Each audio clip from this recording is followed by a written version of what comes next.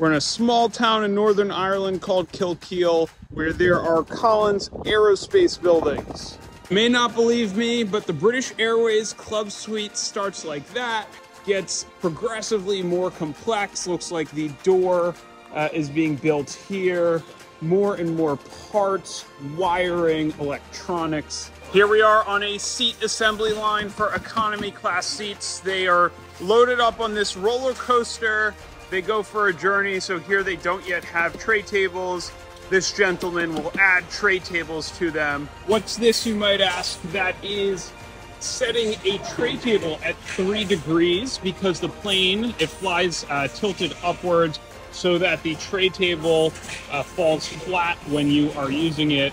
Here is the logistics hub. So many parts. What do we have here? Seat belts and millions of other parts too.